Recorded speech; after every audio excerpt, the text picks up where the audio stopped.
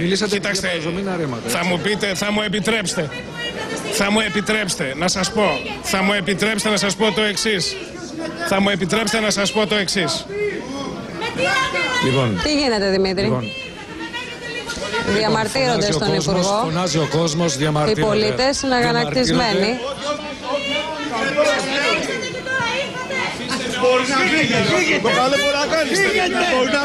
Μάλιστα, δέχεται τις αποδοκιμασίες των ε, πολιτών στο περιστέριο Υπουργός Εσωτερικών. Δημοκρατία, του Πασόκ, αυτά εδώ που βλέπεις.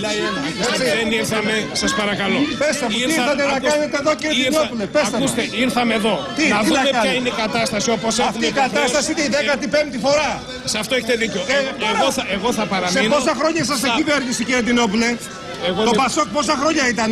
Αυτή η Μην α- κατάσταση μην είναι η απολογηθώ. 15η Δεν φορά. απολογηθώ και για το Πασό. Ε, απολογήσου για τη Νέα Δημοκρατία. Δεν τότε. απολογηθώ. Λοιπόν, αφήστε λίγο να δω. Τι να να δείτε. σχηματίσω μια εικόνα και σας υπόσχομαι Θα ότι μόλις τη περάσει, δω. θα φύγεις και τελείωσαν τα Ακούστε, πράγματα. ακούστε. Αυτά Μόλις- είναι, αυτή είναι η κυβέρνησή σας, κύριε Τινόπουλε. Μόλις τη δω, Η μόλις πολιτική τα σας δω, αυτή. μόλις τα δω, θα αποχωρήσω για να τα μεταφέρω όπως έχω υποχρέωση. Αυτό είναι η υποχρέωσή μου. Αν μου Λοιπόν, επιτρέπετε εσύ. είναι, είναι θυμωμένος ο κόσμος. Έτσι τα έχουν πάρα ζήσει πολύ και τα έχουν θυμωμένος. ξαναζήσει.